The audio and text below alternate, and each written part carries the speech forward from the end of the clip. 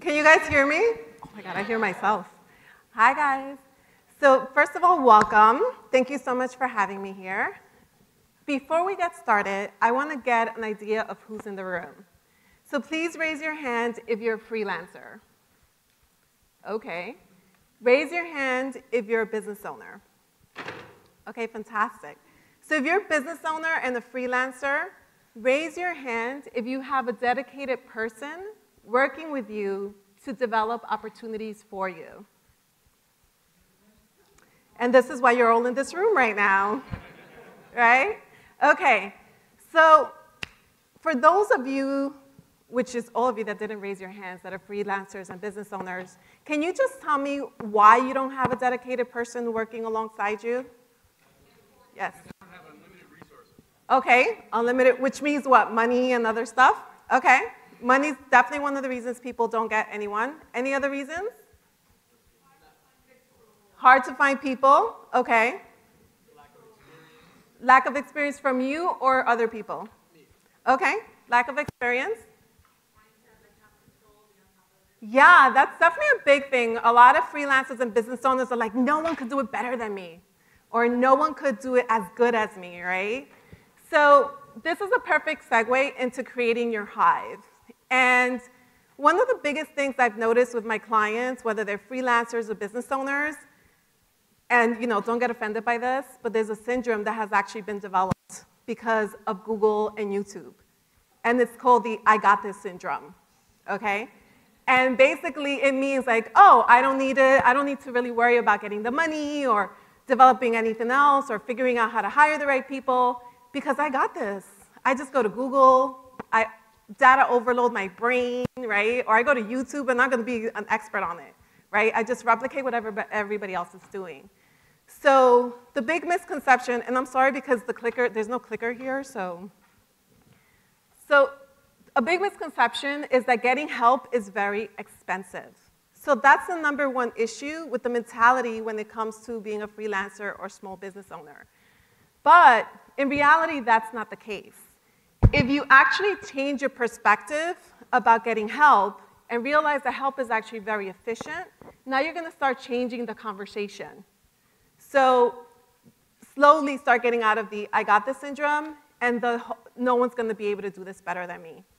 So what I'm gonna teach you today is four steps to be able to get the talent that you need for free. Yeah, right? It's awesome, right? Okay. Who's ready to figure that out? Right? Come on, are you guys ready to figure out how to get free talent? All right, come on. Awesome. Okay, so the very first step to getting over, you know, your I got this syndrome and everything else that we discussed is going to be creating a clear vision. So before you start thinking about who you, oh, you know what?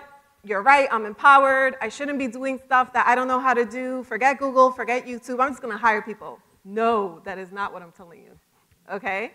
The first step, you have to get a clear vision. You cannot get anyone on board if they don't know how to help you. You have to make it easy for me to either A, want to help you, or B, know how to help you. Okay? If you don't know what your business is, if you don't know how to deliver your message, then how is anyone else going to come on board? Right? So that's going to be very important. And when I say clear, you make sure it's a clear vision, it consists of your mission for your business your brand as well for that. You also want to have goals. What are the goals that you want for your business? Because we're all in different phases, right? I could be in the, you know, I'm just discovering what this means or what I'm going to do. Get people on board with that, like that have the different skill sets so that you're able to kind of brainstorm together what those goals should be. Get someone that's done it already so that you know what did they go through? Why should we go through anything painful if someone else already did? So if I know you already went through so much pain, I'm gonna go to you and be like, hey, talk to me about those pain points and how can I avoid them? The lessons learned from others is what's gonna really be a key to your success. So being able to identify the goals, where you're at and where you're going is gonna be really important. Your abilities, be honest with yourself. Don't say, I need a website, and then just go and get Wix or Squarespace and then just start doing it on your own. Don't say I need a contract for my clients and then go to LegalZoom. You know? Don't say all these things and then just go up there and do just whatever. Be honest with yourself in terms of your abilities. Then be honest with yourself about your likes and your dislikes. Who wants to do something they hate? Right? Or I could love something and not be good at it. Being honest with ourselves so that we're able to know who we need to be, uh, bring on board is going to be really important. Now that you know all those things and you have a clear vision, you go into creating a profile. What does that mean? Why you? Why should I want to work for you or with you? Why, what is it about you that I'm, that's going to be such a big thing for me to want to join you? The skills. What are the skills that person needs? So we already said I've identified what I don't like to do and what I'm good at, or whatever the scenario is, and then being able to take that.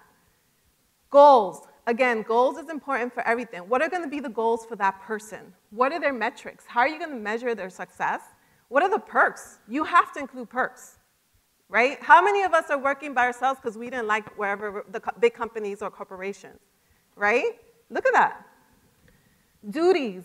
What is it going to look like? Exactly their jobs, their responsibilities, and their schedule. And this is huge if you're dealing with like VAs or international people because I'm sorry, I am up by 7 o'clock and I need certain reports by 7 o'clock in the morning. So you waking up at midnight doesn't work for me. But if they work internationally and they really want your job, they're going to work their schedule and their lifestyle around the hours that you need, time zone, whatever it is. The next step is set up a process. Break it down.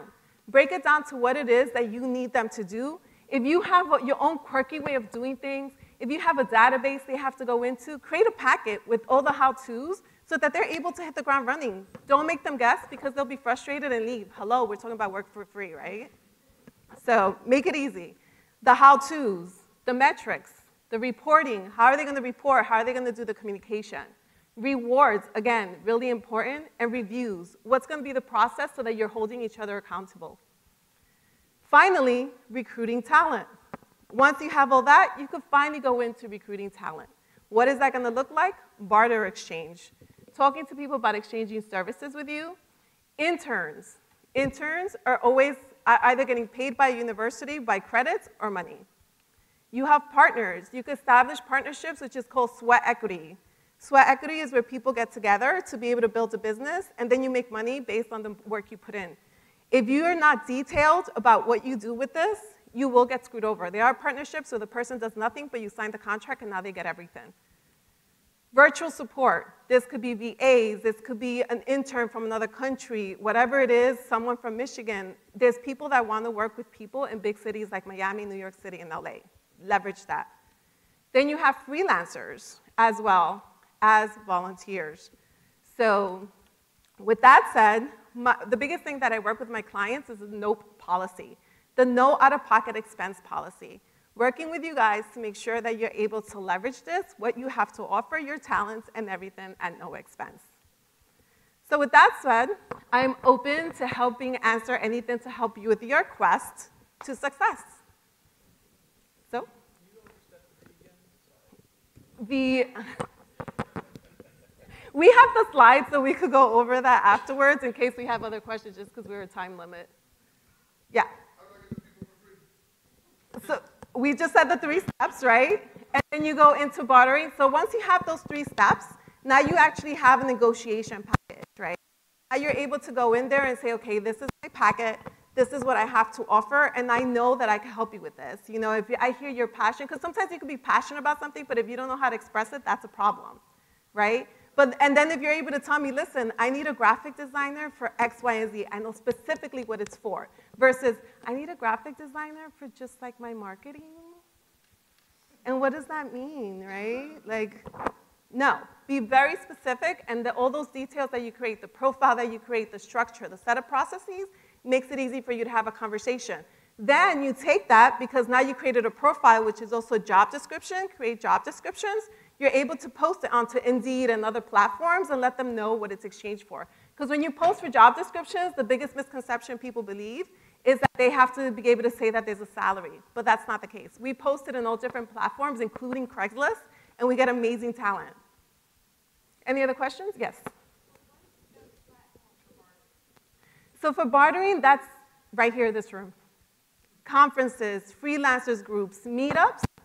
When you're able to have that detailed stuff that we spoke about and you broke it down, like we said, you're changing the conversations. So you're able to go into a room and you're be able to say, you know, yeah, like I'm, what are you doing here? Why are you attending this event? I'm looking for someone really expert in this with this kind of experience and for this amount of time in exchange of this. Having those details makes that conversation possible. Yes? Oh, so one of the biggest things is I also run, own a non, run a nonprofit because we don't own it. Boards own it, right, when it becomes uh, an official nonprofit. So we run a nonprofit in New York City. So people said, oh, it's easy for you to get a free talent because it's a nonprofit, right? Nonprofit always gets volunteers, correct? So when I transitioned, so I came from a corporate background, so I had to hire a lot of like really high talent. So that's where I learned about the process of getting the best people. Because we could get money and get the worst talent. How many of you have not seen people working and saying, how did you have this job, right? Seriously, like how does this person work here? You could still have the worst thing. Why? Because they skip the whole process. Okay? And that's really important for you not to do. So with that, with barter, when I started going into my own business, people were like, you're never gonna get free services. But that's not true. You'd be amazed how much, when I got lawyer services for free, people were like, how the hell did you get lawyer services for free being a for-profit business? Why? Because I had details. And because I had details, I said, what can the lawyer want from me? Right? Well, I'm not a web developer, I'm a business strategist. So I'm something everybody wants, right? Because I am the person that will help you clear your vision and help you come up with a strategy to be able to execute it. And hello, a nope policy? Who doesn't love a nope policy, right? That you pay me and then I help you not spend on anyone else. Or anything else, whether it's resources or anything of that sort. So, any other questions? Yes?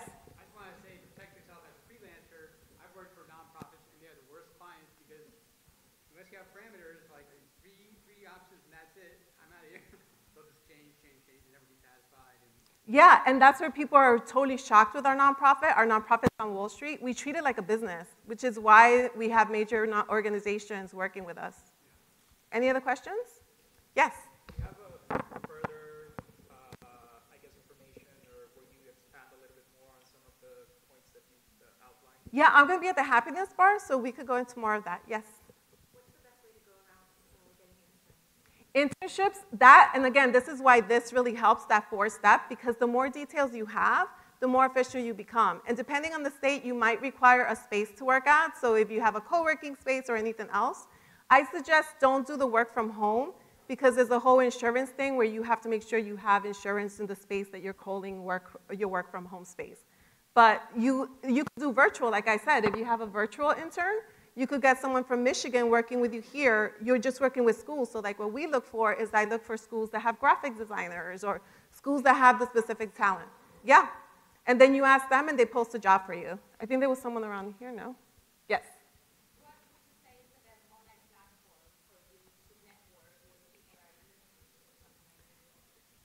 I say be in person. Get away from your computers. Everyone's too busy being behind the laptop and thinking that that's gonna work. People wanna work with personalities. I mean, think about it. Work is where we spend most of our time. We don't spend it as much with our loved ones.